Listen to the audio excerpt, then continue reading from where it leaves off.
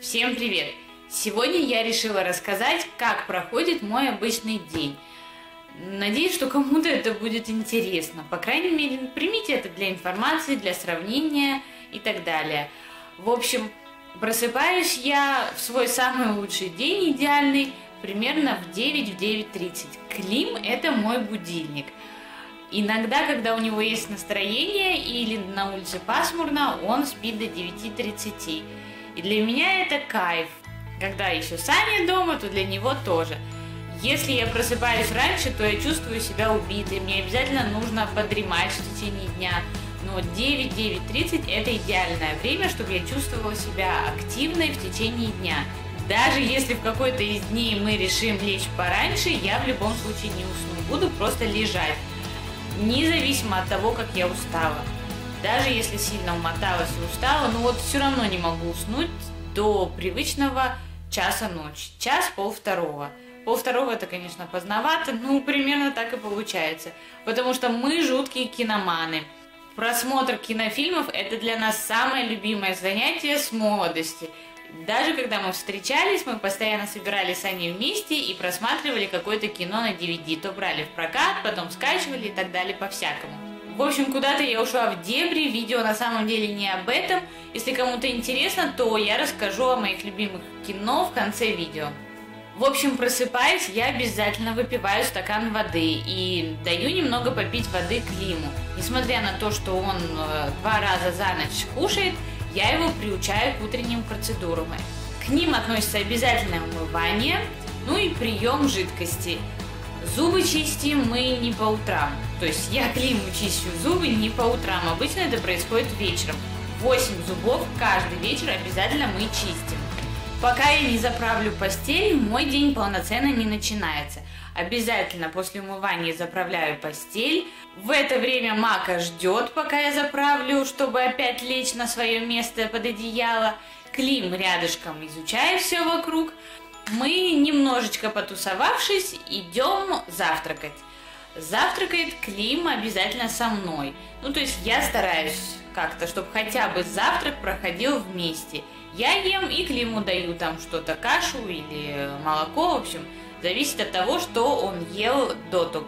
Не всегда получается обедать и ужинать вместе, но хотя бы завтрак – это обязательный ритуал. Клим уже закончил кушать, мы стараемся его как-то развлекать, чтобы он продолжал сидеть за столом вместе с нами, за своим столиком. После завтрака мы играем, смотрим мультики, параллельно убираем со стола, убираемся дома.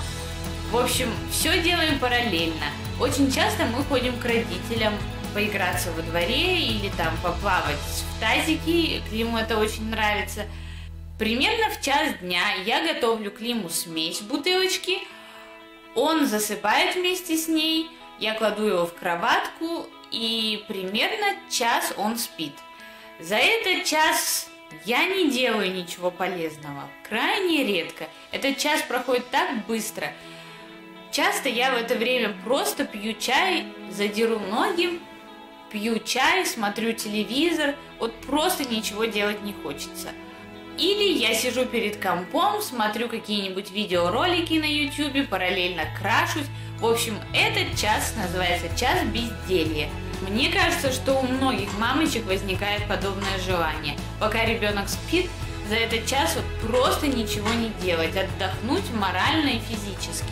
Когда Клим просыпается, моя лафа заканчивается. Это самое насыщенное время сегодня. В этот промежуток времени я делаю все одновременно. Играю с Климом, разговариваю, чему-то его обучаю, параллельно глажу, убираюсь, готовлю кушать.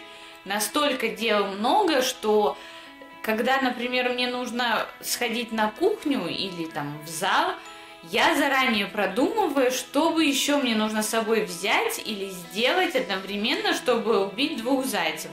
Потому что зря почем ходить в кухню, чтобы там, например, всего лишь попить воды, это трата времени. Примерно с двух часов до пяти вечера у меня дома происходит маленький дурдомчик. А ведь у меня всего один ребенок. Я не представляю, как бы я справлялась там с двойней или, например, один ребенок поменьше, другой побольше. Я прям очень уважаю и обожаю таких мамочек, которые успевают и ухаживать за собой, и дети у них в порядке, и не глупые, видно, что с ними занимаются, а не просто так. А еще, если она находит время на саморазвитие, то это вообще вот прям огромный-преогромный респект. Я считаю себя таковой, но не на сто процентов. И в целом я довольна тем, что я успеваю в течение дня. Я вам хочу сказать, что если искать совершенство, то вечно будешь недовольна. В этот период у меня нет как такового обеда, чтобы вот сесть, сделать салат, красиво накрыть на стол и поесть. Все на ходу. Я вот потихонечку там подъем, тут подъем, чаечек быстренько попью на скорую руку. В общем, я голодный никогда не хожу. Если хоть немного я чувствую голод, то у меня болит голова, мозг не соображает.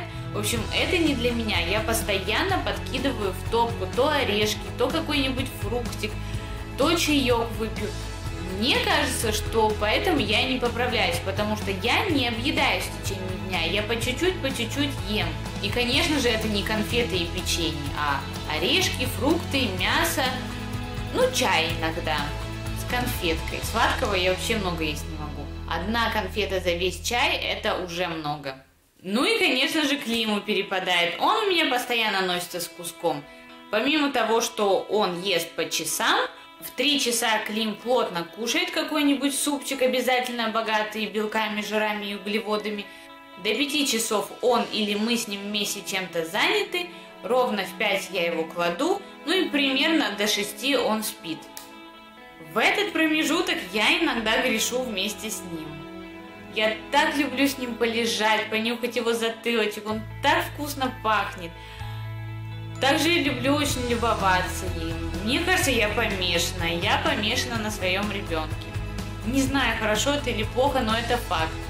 Иногда я просто с ним лежу, бывает засыпаю, но чаще всего, конечно, я немного полежу и делаю какие-то дела, потому что ровно в 6 часов мы идем с ним гулять. Я подготавливаю все к прогулке, обязательно что-нибудь беру перекусить, воды обязательно с собой попить, там сменные какие-то вещи, подгузники, потому что если у нас случается прокол, то мы заходим к маме и переодеваемся, там меняемся и так далее. Слава богу, у нас на районе очень много опций, куда пойти. Место тусовок молодых мамочек с детьми – это парк, несколько игровых площадок и стадион. В последнее время мне очень нравится стадион, потому что там просторно, свежо и от газона как-то свежо, там рядом речка, в общем, там совершенно другой воздух. Мне очень нравится, и нет песка. То есть, когда мы ходим на игровую площадку, у Клима все ноги в песке, он весь в песке, и я тоже в песке, потому что он бывает и мне на голову его сыпет. После нашей местной тусовки мы часто идем к маме просто проведать родителей. Если Саня не пошел с нами гулять, то он обязательно ждет меня на ужин. Я с ним что-нибудь перекушу, попью чай, мы с ним посидим. Клим в это время ходит туда-сюда или сидит с нами за столиком. Обязательный ритуал перед купанием – это просмотр каких-нибудь мультиков, чтение книг, танцы и так далее.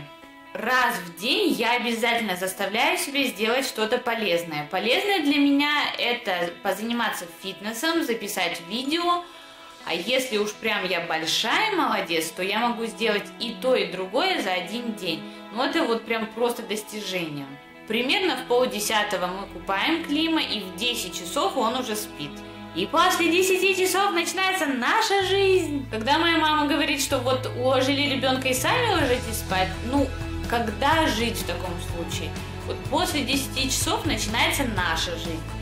Мы делаем свои дела, не торопясь, мы смотрим кино, к нам часто приходят друзья. Без этого никак не обходится. Буквально вчера мы смотрели с Аней фильм, который называется «Дивигент».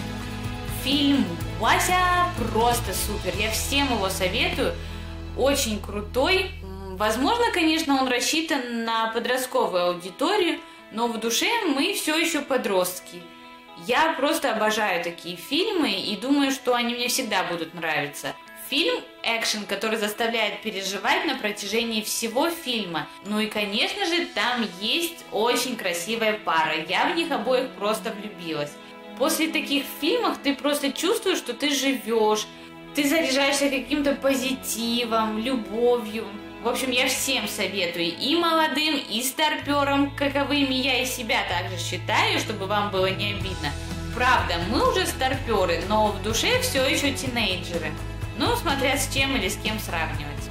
Кстати, только сегодня я узнала, что предшественник фильму книга, и поняла, что я не иду в ногу со временем. И надо что-то менять. Тем, кто еще не посмотрел этот фильм и не знает ничего о нем, советую прочитать обязательно книгу.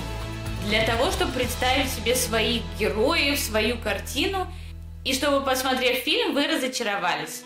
Правда, со мной всегда так бывает. Какой бы хороший фильм ни был, книга всегда лучше. В общем, всем я желаю позитивного настроя в жизни, каких-то интересных моментов, хобби, помимо вашей работы и ежедневной рутины. И, конечно же, не забывайте подписываться на мой канал и ставить лайк. Всем пока!